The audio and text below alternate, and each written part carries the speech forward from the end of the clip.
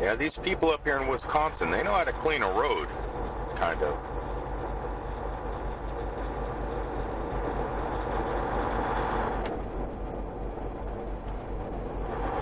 Kind of.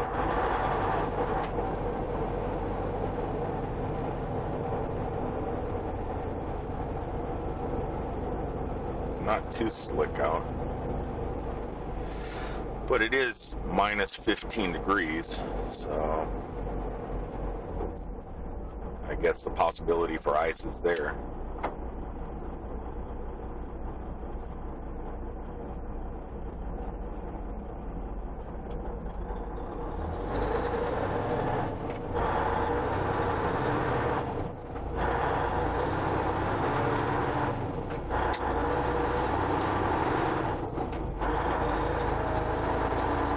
This is not a day to be lost.